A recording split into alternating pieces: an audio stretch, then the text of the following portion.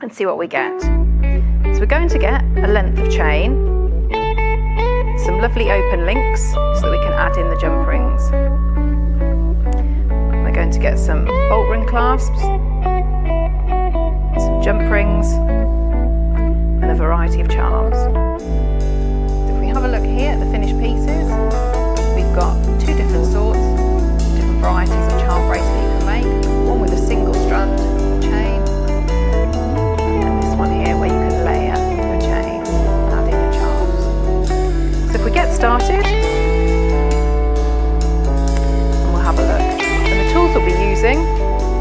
be using our red handled chain nose pliers and our round nose blue handled pliers and our yellow handled snips side cutters. So our starting point for our bracelets is to cut a length of chain. So what we want for our chain want to create and measure out roughly about seven and a half inches in total. So that's going to be the total for our bracelet. We need to take into account that some of the findings, so the bolt ring clasp and the jump rings, might take up about two and a half centimetres to an inch. So we cut off a length initially of about six, six and a half inches,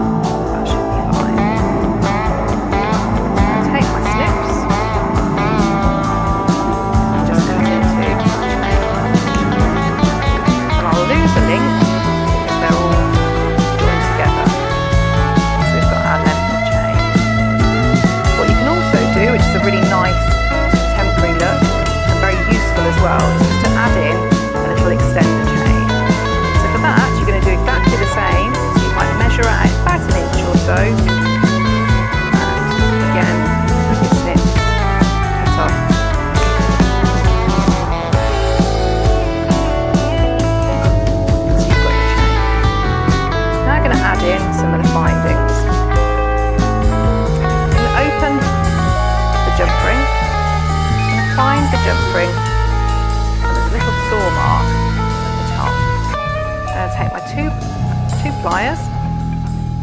I'm going to open and close like a door or a gate. So the saw mark is at the top. I'm going to bring pliers towards me to open and close. Now add in one jump ring to the end of the chain.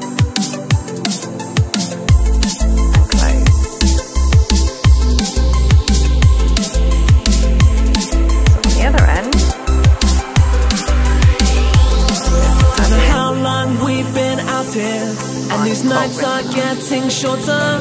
Like a energy I'll conquer. In my on the jump soul, this is real.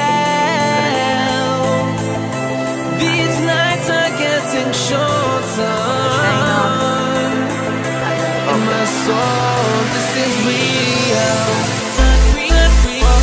I want to add in the